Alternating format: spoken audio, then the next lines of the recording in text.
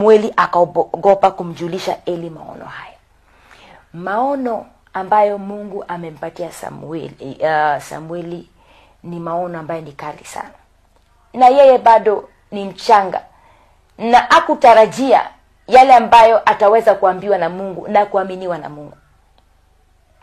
Lakini ukweli ni kwamba mungu ameanza kutumia samueli na hakika tunaona ya kwamba ni mungu mwenyewe ameanza kumwita samueli. Sasa ameanza kufungua masikio yake ya kiroho ndiposa akaweze kusikia na akajua kwamba ni mungu ananiita.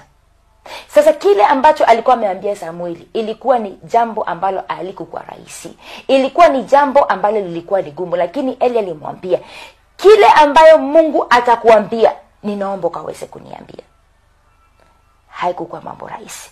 Na tunaona ya kwamba mungu ameinua samueli na ame, ame, amekuta ya kwamba hawezi kunena na eli kwa sababu ya yale mambo ambayo watoto wake alikuwa wamefanya. Lakini sasa akasema sauti yangu nitamwaminia mtoto huyu.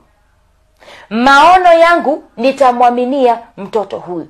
Kwa sababu wakati imefika mimi kuweza kujiinulia nabii wakati kama huu